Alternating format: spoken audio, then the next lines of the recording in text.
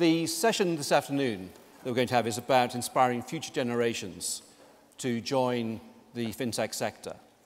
Now, we're very well aware of the increased demand that there is for skills from across the economy as businesses, regardless of their sector, seek to transform themselves uh, through digitization. I was talking to the CEO of a construction company a few weeks ago who pointed out that in their business uh, they had 42 people with PhDs. So it just shows it's not just a battle for talent with uh, technology and media and communications.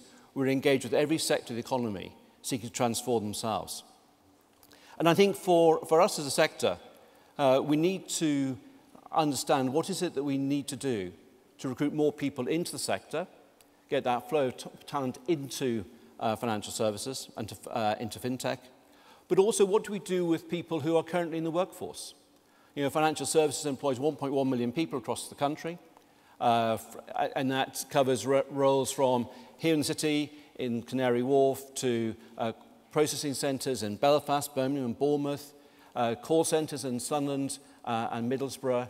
So we've got a huge range of people employed in the sector, all of whom, whether in the boardroom or in the call centre or the dealing room, will find their roles affected by digitisation. And so our challenge this afternoon is to solve that problem in 40 minutes.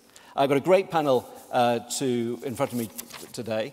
Uh, Sherry Coutu, a serial entrepreneur and angel investor, the founder of um, Founders for Schools and Workfinder and the Scale Up Institute, uh, who's got huge experience in getting talent into the sector.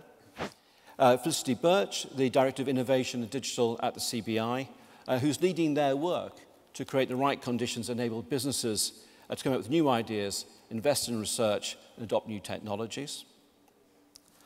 Uh, I've got uh, Jess McNicholas, the Managing Director from State Street. She's currently responsible for delivery of 11 all corporate citizenship programs across the region, across EMEA, spanning 11 locations and 1,000 staff.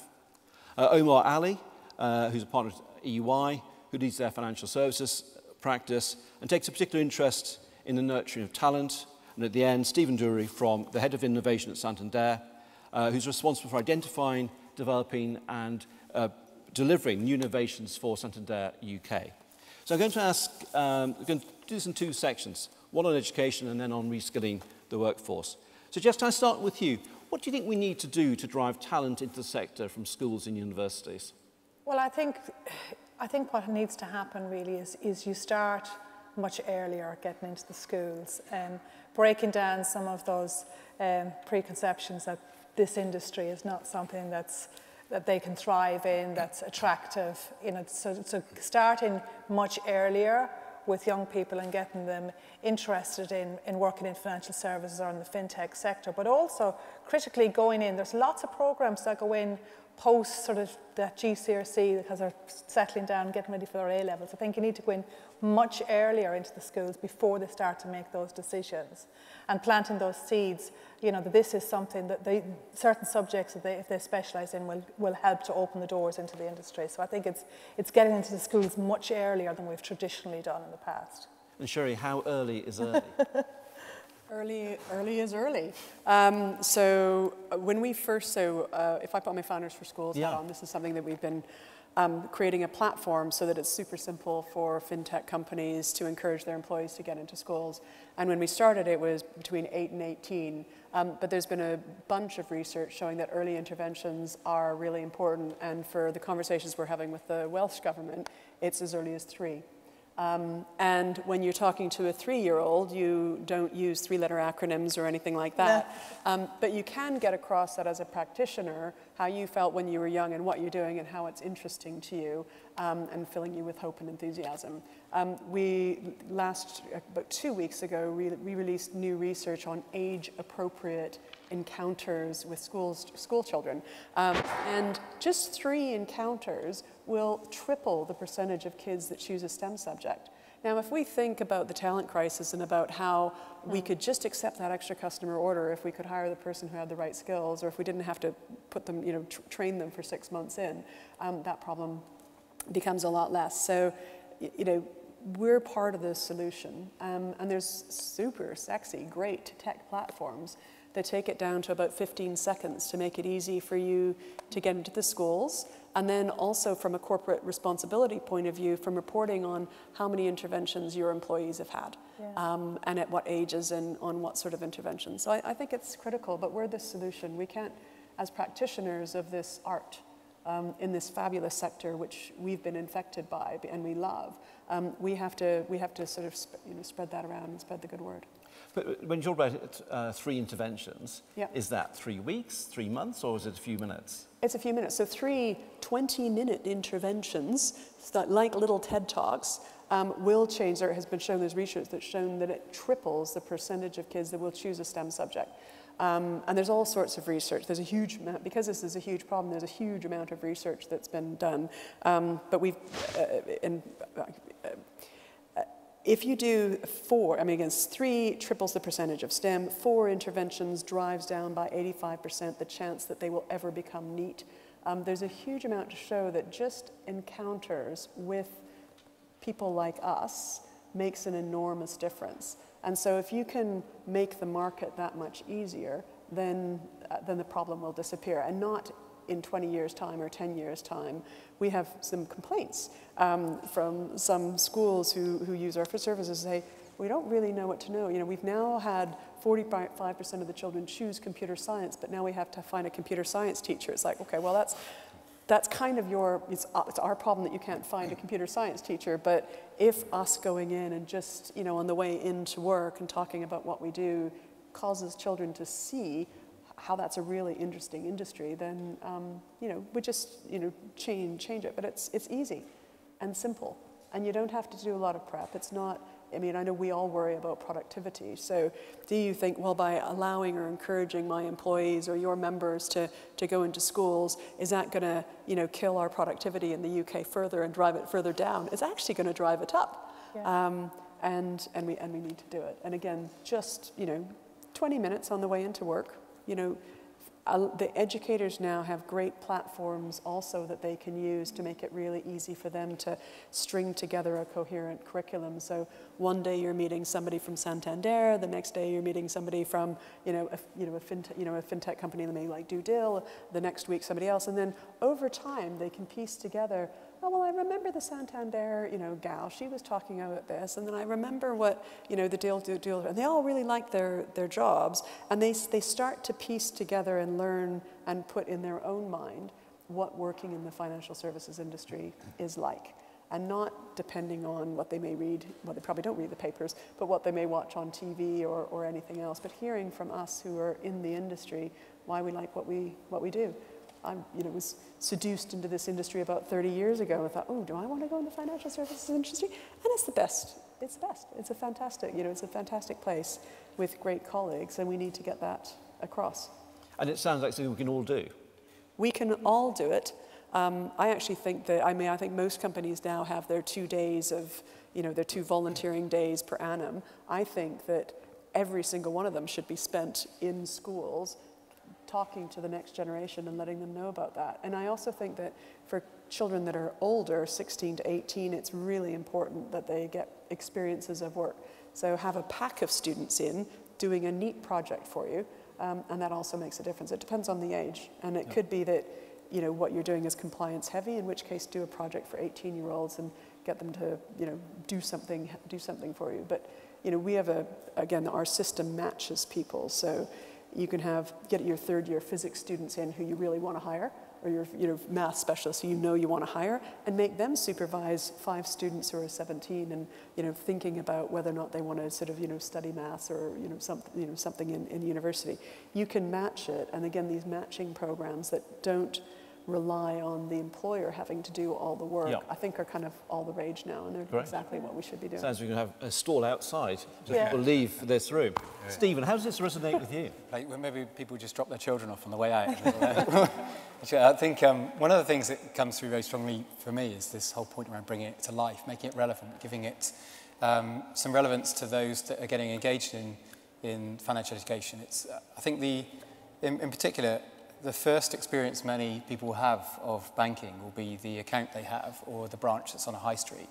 Um, and I think that shapes what's considered to be banking today and in future. And until you bring to life the types of roles and the experience in, and the digitization of the market to children of various different ages, there, there's no chance of understanding and engaging them in what the future of finance will look like. Um, and given how savvy children are now with digital devices, tablets, mobile phones, um, it's very easy to bring that to life. When was the last time you saw a parent pay with cash? Actually, it's contactless, it's Apple Pay. Now, what does that mean? Actually have a conversation about that. How does that change the way the industry will be perceived? How does it change the type of skills that people need? What type of experience would you expect? Now, if you start with a conversation like that, you make it very relevant instantly to the group you're engaging with, and I think that's hugely powerful. Mm -hmm. But can I just take you on from um, talking about uh, children at schools to, to universities and students? Stephen, I've heard uh, Nathan Bostock, your CEO, talk about the number of links Santander has with universities across the UK. What, what's your impression of the, of the young people coming out of universities and the type of skills they have and whether they are fit for uh, the world of, of financial services and fintech? I think it's quite, it's mixed, I think would be my view. I think the, the passion and enthusiasm is certainly there and the desire to get involved in the sector is there. Um, I think we see certainly where people have had experience of working on live practical examples or, or uh, projects during their degree, um, working potentially with industry, whether it's with Santander or others, actually the ability to come straight out of university and go into practice those skills uh, goes up significantly. and whether that's with a larger established player in the market because there's these established um, relationships between universities um, and firms. And we've got partnerships with 84 universities around the UK. We fund and support various different projects um, and internships and so on and so forth. And we equally work very closely to help fund internships into SMEs, which, again, the experience is the most important piece. Um, we certainly see then the readiness of of uh, graduates to have an impact in a firm go up the, the more the experience is there.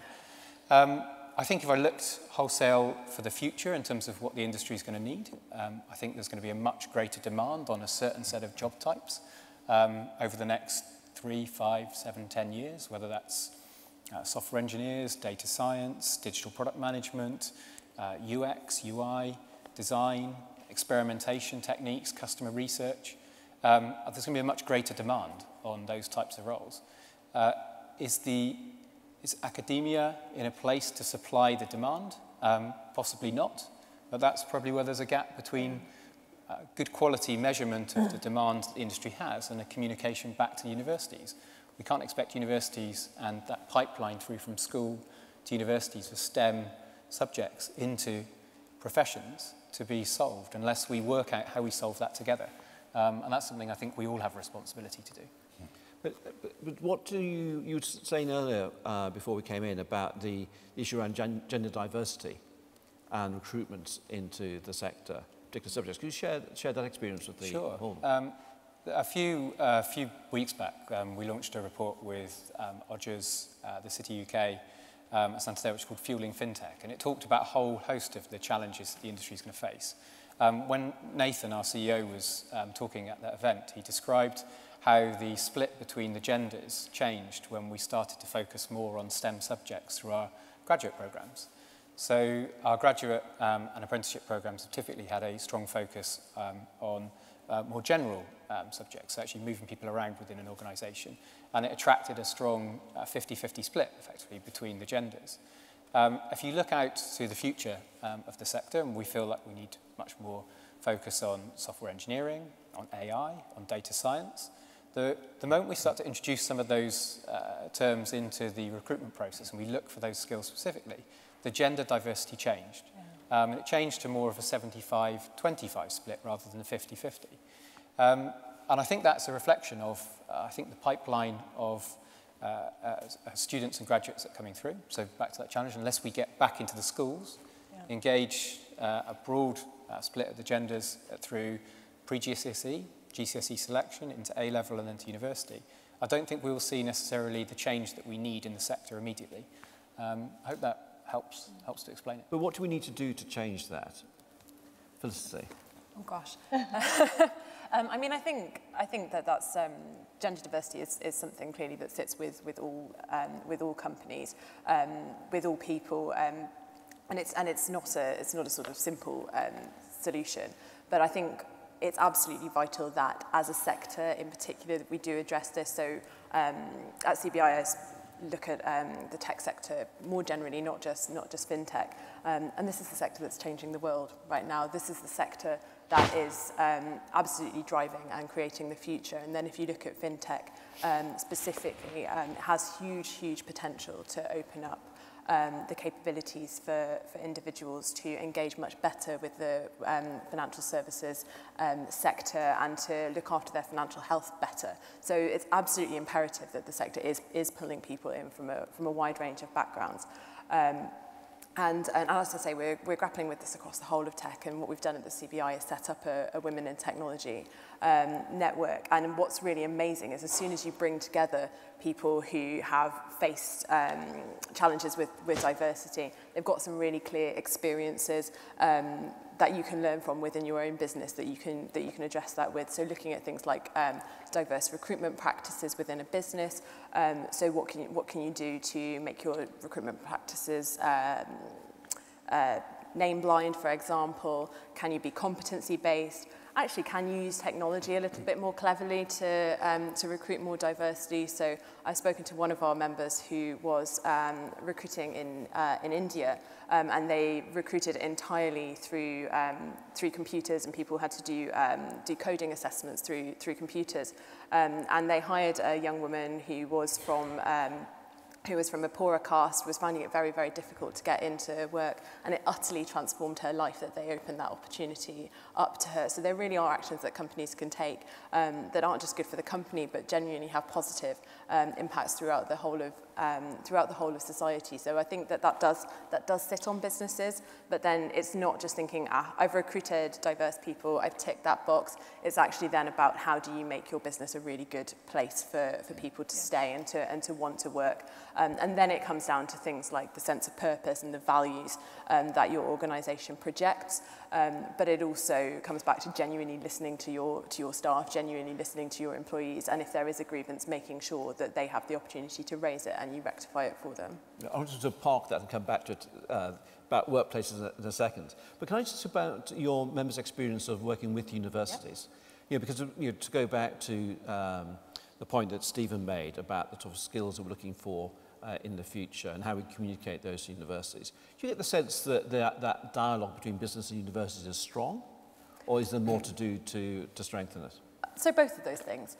Uh, I think you know the first thing that uh, that any business that I would uh, talk to um, in CBI membership would say about UK universities is, is how brilliant they are, um, and actually we're really lucky to have that as a as an asset for the UK, and I think we always do need to um, come back to that. But when you talk to um, businesses that are primarily in the sort of high-tech sectors that are used to uh, investing in people with, with high-level skills, the big challenge is not so much that they might not have the AI skills or the data science skills or the coding skills that you're after. Um, it's much more how you apply those in a, in a commercial environment and whether they have the, the sort of business skills that sit around that. Um, and one of my, uh, one of my members sort of phrased it that we're going to have to make sure that our young people can turn the midlife crisis into an art form. And I like that one. Um, and, and, I think, and I think that that's, that's a really important question as well, because we think about the commercial skills that people might need, but, but actually, you know, skills for digital are a lot broader than, um, than digital skills. And that's partly something that universities have to help people with. They have to help people try and understand what the world of work is going to look like. But it does really sit on businesses as well. And once people are in the company, um, it's something you should very much um, commit to supporting your people with. Can I just, um, so there's been quite a lot of research so it shows that working in projects and making things together is really important. So you may be an amazing mathematician or physicist, but it's working with people, it's that communication skills and those other skills that, which are super important. Um, and over uh, you know several bits of it. So it's not having one work experience um, session at Santander that's excellent is actually having it four or five um, so that you are learning and context switching between the different workplaces. And through those different projects, where one time you're asked to do a project on, I don't know, market entry, the other one might be in trying to figure out price sensitivity. Um, it's those, it's the combination of those that, al that allows the cognitive processes around a learner to take place. So historically, it's like, well, it doesn't really matter how much work experience. Well, there's a huge amount of research to show that the work experience that impacts a person's ability to work um, is unsatisfactory at the moment in the UK. 51% of it is seen to be unsatisfactory. So we have to work really hard as employers to think about what's a meaningful sort of experience of work and, and accept that, I mean, the research shows that it's about 100, 100 hours across different organizations that will set someone up so that they're not going to flip out from, from a permanent position. And I'm really worried about the statistics that show that of, you know, the, uh, on average, the millennial who is 30 has had 10 different jobs by the time they're 30. That is a huge productivity hit. Now, if they'd done a few low barrier tasters before they took their first job, I think that, you know, that that they, you know, they would stay in jobs for two, three, four years rather than sub a year, which is very damaging to us. So little tasters, they can actually learn and reflect on what they need. It's a lower barrier to us taking them on. Um, but I think, it's, I think it's part of the answer to our productivity puzzle and to the, with, you know, in Hadoop um, and some of the data science categories, 8,000% jumps in demand from employers across all sectors in the past three years in, the, in a research study that's just being put out by the Royal Society. Now, if you've got some sectors that are just exploding, um, you know, you need to make it easy to onboard people and for them to have little tasters and make up their mind. We have to be a very attractive place for people who have those skill sets as employers. It's quite a challenge, isn't it? So, you know, someone who only had one job until he was 30, uh, the, the, idea of having 10 jobs uh, by your 30 but it's just quite a radical it, shift, isn't it? Well, if I, you know, I, I've been with LinkedIn for about sort of 10 years. It's very interesting. The patterns are entirely different now than they were 10 years ago. And the power has shifted absolutely away from the employer and absolutely towards the person who has the talent. And we all have to bear that in mind. Omar, can I just ask you, your uh, EY is sponsoring the uh, FinTech census, to be published uh, shortly. What are the emerging uh, findings from there about work and employment and skills that we should be thinking about? Sure. Um, but I've always been told, Mark, when you're on right at the end of the day, there are three things that you should do. First is to wave to be seen. the second is to speak up to be heard. And the third is to shut up to be appreciated. So, but just before I do, before I do the last, let me answer, let me answer your question. It is clear all throughout the day, and I was listening to the previous panel also, everyone will talk about the talent crises, the issues that we have across the sector. But being in a place like the Guildhall gives me hope because 800, 900 years ago, this place was the hub for getting talent to be skilled. Tradespeople would arrive here, they would be trained up, they would meet with like-minded people, and of course, year in, year out, generation after generation, we've seen the reinvention of the city. So my hope is events like this, and as we have the dialogue, the work that Stephen did with Odgers, the work that Innovate Finance are doing with FinTech for Schools, the work that Sherry's doing with the Lord Mayor around work experience will will ensure that we can deal with this. But I don't underestimate the scale of the challenge. So the World Economic Forum recently published some research which showed that the sort of emerging jobs in financial services, some of the areas that Stephen was outlining, data, data specialists, AI, machine learning, uh, UX, system architects, engineers, innovation roles currently make up something like 15% of financial services roles. The World Economic Forum estimate that that will be up to 29% by 2022. That's a massive gap. And so therefore, I don't underestimate the scale of the challenge. And that has been borne out by our census. So we've just finished the fieldwork. We are um, hoping to launch it, uh, working with HM Treasury and Innovate Finance sometime later this year. But some of the themes are merely an echo of what the panelists have been speaking about. First is that fintechs, and we've got a really good cross-section of UK fintechs, are really optimistic about their prospects. Um, a large proportion of them think that they will be doubling their revenues over the next year or two. But the biggest constraint they find to their growth is accessing the right skills and talent. And then when you cut beneath that and say, where are those issues? The same old things come out.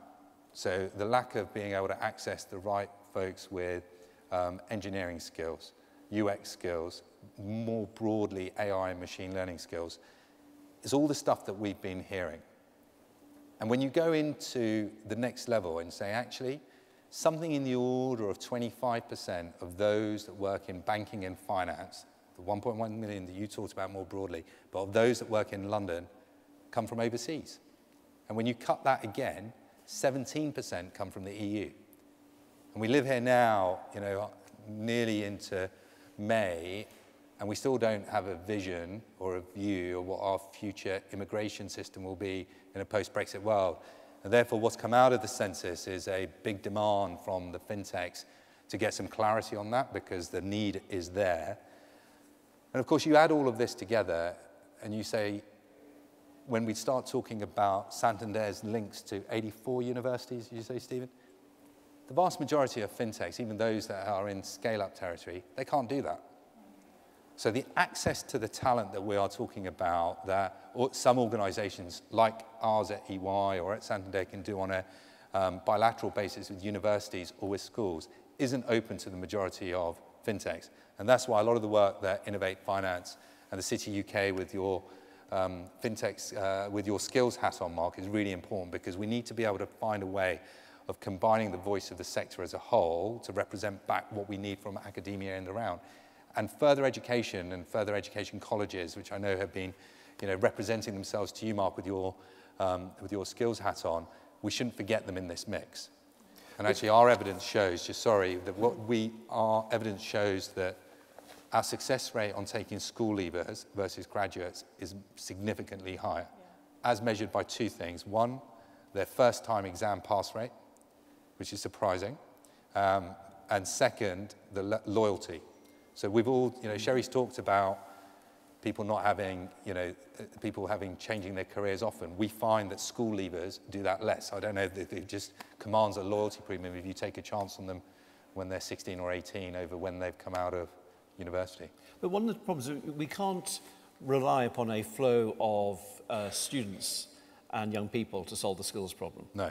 Yeah, so, so what, what, what do we need to do about reskilling the existing workforce? There's a great line I saw, I think it was in a, um, a World Bank report recently, said we should be protecting the people, not the jobs.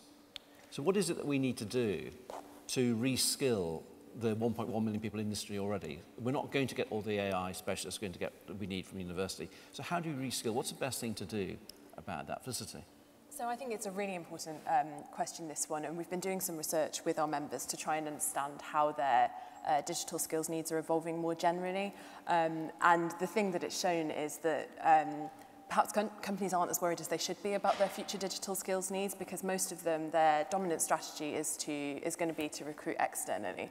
Um, and if everyone is trying to recruit externally, we're going to run out of people pretty quickly. And we're already seeing that in some of the highly skilled areas. Um, So one of the things I would uh, encourage companies to think about uh, is shopping in their own wardrobe. So this is the this is the concept that um, you know you might already have a load of clothes in your wardrobe which are which are really nice, but they're they're a little bit dated, or there's something about them that doesn't quite fit. Um, but if you take it to the tailor, or if you wear it with something else, um, it's, it's going to look great on you. You've just saved a load of uh, you've just saved a load of money, um, and um, and you sort of repurposed something and given something new life. And, and actually, um, a lot of companies have a lot of really skilled people uh, already within them. And the skills that you need for digital transformation are not only digital skills. Some of them are marketing skills, some of them are creativity skills. Um, and even if your, your marketing team, for example, don't have all of the digital skills you need, they do already have an interest in, and very likely a loyalty to your company. And if you talk with them about the future um, career that they could have if they upskill, you may find that, that people are really, really interested in doing that. But there's, there's quite a lot of good process um, out there amongst our membership and engaging people in those. Um, so companies might have, a, have an innovation council or a digital skills council where people can actually discuss sort of what are the skills needs within the company, what might I have to do to skill mm-hmm. myself up to meet those. Um, so enabling your people to do that and not making them feel like it's done to them um, is, is an important part of that as well. And Jess, how do you think we can do that in, in corporates?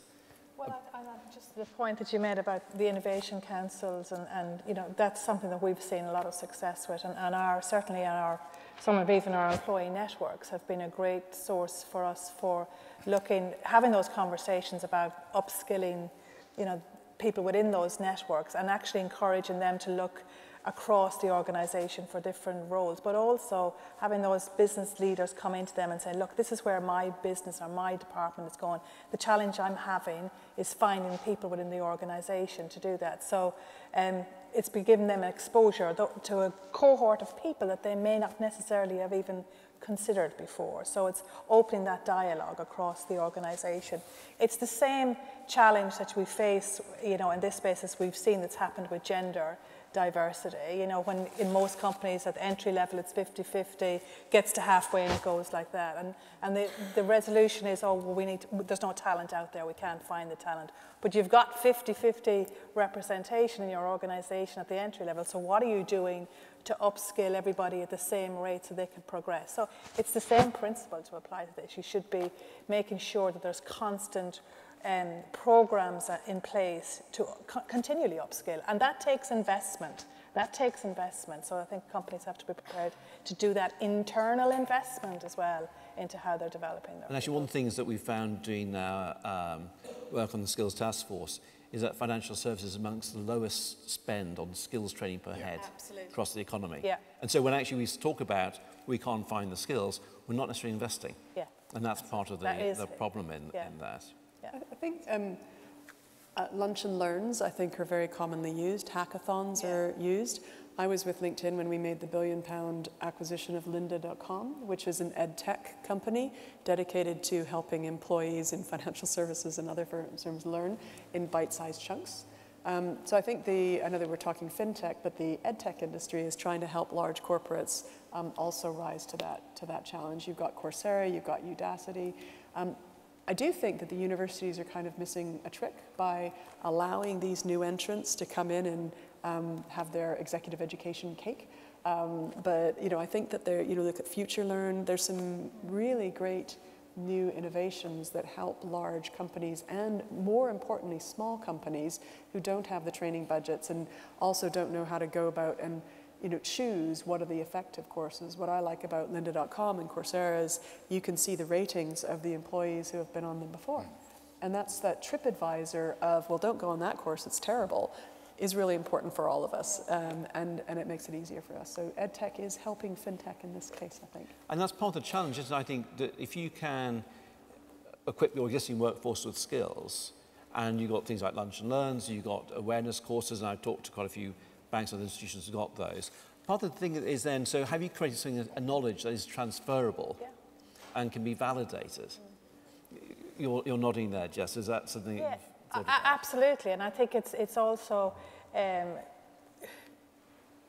not only um, with, with young, we see it all the time with you know the young, young recruits coming in, millennials. They, they are not afraid to go across the organisation. You know, we've all experienced that. But I think there's a, there's a missing link in terms of with your existing staff that may have been with your company for 10 years, is actually showing them that they have a skill and them knowing that they have a skill that can be transferred into that new innovation IT division that's starting up. That it's okay, they may have worked in an ops, but they have something critical that's actually relevant to that as well. So um, it's, it is, it's, it's quite frustrating because the skills are there, the talent is there in the organization. It's just opening people's eyes to it within organizations. Yeah. Omar. I mean, that, Jess's point is absolutely right. Finding a way to unglue the vast majority of the talent that sits in the organizations, which is not millennial, is clearly the key part to, I think, solving this. To my mind, there's three bits, and we talked about solving the talent conundrum. First is around getting education and the education system more fit for what the fintech sector requires. Second is getting an immigration system in place post-Brexit that allows fintechs to continue to recruit the best talent irrespective from where they come from. And the third is getting the reskilling sorted out. And on reskilling, I agree with what the panelists have said, but two, two bits strike me. The first is, even if you get the reskilling to work right on the supply side, you need the demand side to be working as well, particularly awareness. So awareness of the roles that exist in fintech is still really low. Yeah. And principally because the sector itself is, is maturing, but it's still pretty nascent. It's fragmented, and it doesn't really have a single home for where people can go to say these are where this is all the types of skills I need and the types of jobs that are out there. And of course, Innovate Finance have only just launched the, um, their jobs portal, which hopefully will start to become a bit of a, bit of a melting pot for it. And then the second point is, at the big firm level, P&Ls go against reskilling. Yes. Why? Well, principally because a P&L owner, like Stephen, if he wants to um, get new people in, the easiest way for him to do it, I don't mean this in any way, it's easy, but is to make people redundant, take a charge, and then you go in, in your other line to go and hire people because guess what? Retraining all that staff is hard work. You put the recruitment out, it's, you know, and the P&L start stacked differently around it. So organizations need to start to see the economic upside of reskilling. And when we've done work for clients before, Mark, as you know, the economic case stacks up massively. If you can get it right, if you can get a certain proportion of your workforce reskilled, exactly as Jess says, the innate skills are there. They just need to be repointed in a different way. It's counting sort of the problem. Yeah, exactly. Yeah. Stephen. I think, to build on that, I think what we will start to see is the importance of investing in the reskilling as the way to bridge the gap in the short term until we see the pipeline come through. So I don't think this is an option. I think it's something that has to be done. Um, I feel that there's um, an important breakdown on the reskilling.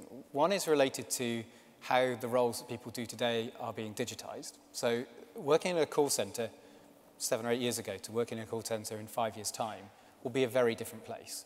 And how you ensure that the teams have got the capability and the people in the roles to perform in that role requires significant investment. The other is related to the type of roles that an organization will need in future. And that's where you need to invest in either reskilling to entirely different role types using similar, similar or common um, capabilities or looking to recruit, recruit into an organization. Um, I think that, that they're slightly different things, but both to me have to be addressed. Can I just pick you up on one point, Stephen? You said we should uh, reskill until the pipeline arrives the skills we're training people for today, we talk about AI and data. We didn't, uh, couldn't imagine those 10 years ago. I suspect in 10 years' time, we're now saying we've got too many AI specialists yeah, yeah. and we need to retrain them. I just think there's something about this which is the constant need for all of us to reskill. Yeah. Uh, and you know, we can't just expect either to recruit on the spot, pro, the spot market of skills through immigration or rely upon future generations to sort us out. I think collectively, actually, we need to resolve this for ourselves and think about the responsibility as employers or as employees to constantly keep up our skills and be curious about what's going to happen next. I think that picks up on Sherry's point, actually. The diversity of experience that you get from doing multiple roles can make you far more effective at working with other people in a business. Absolutely. So whether it's the three-year-old getting their 21st 20-minute intervention uh, on uh, fintech or someone like me on their third career, it's just an ongoing process that draws us to the end of, the, end of this afternoon's panel. Can I thank Stephen, Omar, Jess, Felicity, and Sherry. Thanks very much. Thank you. Well